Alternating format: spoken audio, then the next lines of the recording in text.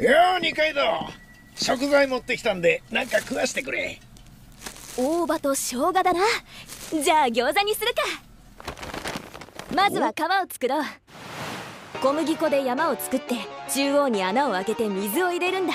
ほほ砂遊びみたいだな。粉がなくなるまで少しずつ水を加えながら。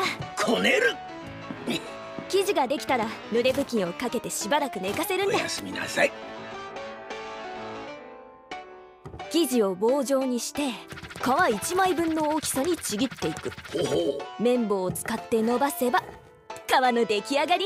ほほあんは細かく切った干し椎茸やニンニクネギや豚ひきカイマンの持ってきた大葉や生姜を入れてうん。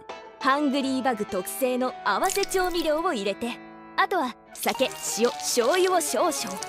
そして混ぜ大葉を敷いた皮にあんを塗って包む。最後によく熱して油を引いた鉄板に餃子を並べて焼き目がついたら水を入れ蓋をして蒸し焼きにする。る蓋します。